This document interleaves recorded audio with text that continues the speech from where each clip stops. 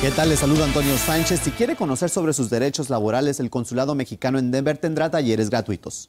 Se van a llevar a cabo jornadas informativas de 10 de la mañana a 1 de la tarde y el objetivo es difundir el conocimiento sobre estos derechos entre la comunidad hispana, especialmente entre los jóvenes, eh, y también sobre a cuáles eh, instancias se puede acudir para eh, exigir la, en caso de alguna violación.